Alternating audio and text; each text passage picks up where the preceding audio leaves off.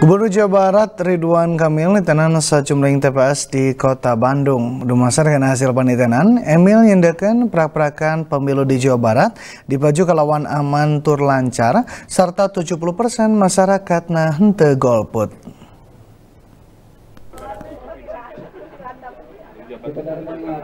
Satu tas nyoblos Gubernur Jawa Barat Ridwan Kamil nitenan sejumlah TPS di kota Bandung. Eta ketakte dilakonan piken nyendeken prak-prakan pemilu di Jawa Barat di Paju kelawan aman tur lancar. Berdasarkan hasil panitenan, Kang Emil nyendeken prak-prakan pemilu di Jawa Barat di Paju kelawan aman tur lancar.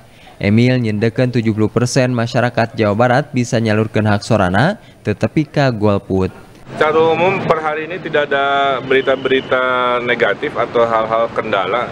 Kami mengasumsikan berarti aman lancar ya.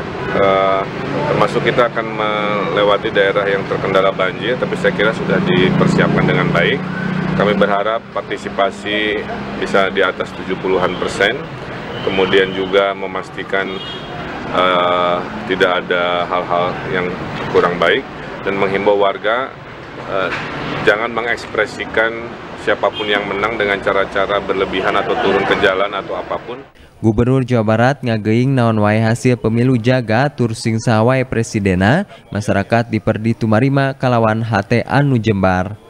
Kang Emil oge miharap sangkan para pamimpin anu jadi pinilih jagana bisa mawa hasil anu panghadena pikeun Indonesia kaharepna. Yuana Kurniawan, Bandung TV